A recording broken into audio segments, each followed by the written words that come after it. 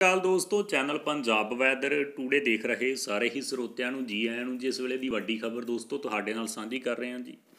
1 ਅਗਸਤ ਤੋਂ ਹੋ ਜਾਓ ਤਿਆਰ, ਜੇਬਾਂ ਹੋਣਗੀਆਂ, ਢਿੱਲੀਆਂ ਲੱਗੇਗਾ ਵੱਡਾ ਝਟਕਾ। ਵੀਡੀਓ ਨੂੰ ਅੰਤ ਤੱਕ ਦੇਖ ਲਿਓ ਦੋਸਤੋ, ਤੁਹਾਨੂੰ ਪੂਰੀ ਖਬਰ ਦਾ ਪਤਾ ਲੱਗ ਜਾਏਗਾ। ਵੀਡੀਓ ਨੂੰ ਲਾਈਕ ਚੈਨਲ ਨੂੰ ਸਬਸਕ੍ਰਾਈਬ ਅਤੇ ਵੀਡੀਓ ਨੂੰ ਵੱਧ ਤੋਂ ਵੱਧ ਸ਼ੇਅਰ ਕਰਨਾ ਨਾ ਭੁੱਲਿਓ। 1 ਅਗਸਤ ਤੋਂ ਕਈ ਨਿਯਮਾਂ ਦੇ ਵਿੱਚ ਬਦਲਾਅ ਹੋਣ ਜਾ ਰਿਹਾ, ਜਿਸ ਦਾ ਸਿੱਧਾ ਅਸਰ ਸਾਡੀ ਜੇਬ ਤੇ ਪਵੇਗਾ। ਇਹਨਾਂ ਦੇ ਵਿੱਚ ਸਿਲੰਡਰ ਦੀਆਂ ਨਵੀਆਂ ਕੀਮਤਾਂ ਜਾਰੀ ਹੋਣਗੀਆਂ।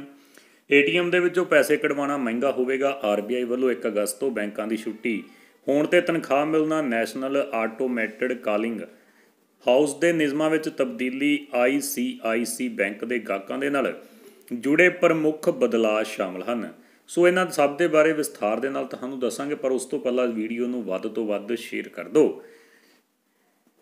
ਸਿਲੰਡਰ ਦੀਆਂ ਨਵੀਆਂ ਕੀਮਤਾਂ 1 ਅਗਸਤ ਤੋਂ ਐਲਪੀਜੀ ਸਿਲੰਡਰ ਦੀਆਂ ਕੀਮਤਾਂ ਵਿੱਚ ਬਦਲਾਅ ਜਾਵੇਗਾ, ਕੰਪਨੀ ਹਰ ਮਹੀਨੇ 1 ਤਰੀਕ ਨੂੰ ਬਦਲਾਅ ਕਰਦੀ ਹੈ, ਹਰ ਮਹੀਨੇ ਦੀ ਤਰੀਕ।